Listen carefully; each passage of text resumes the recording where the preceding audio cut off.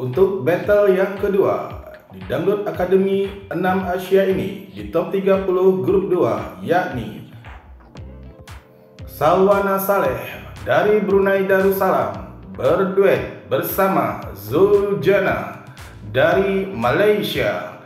Mereka membawakan lagu yang berjudul Keramat.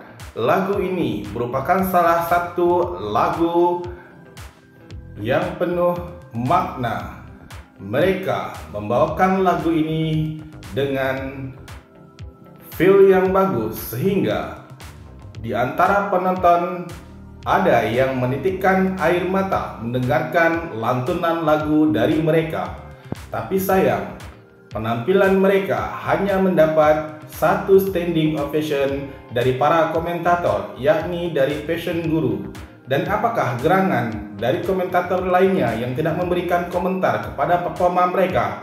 Semoga mereka lolos ke babak selanjutnya.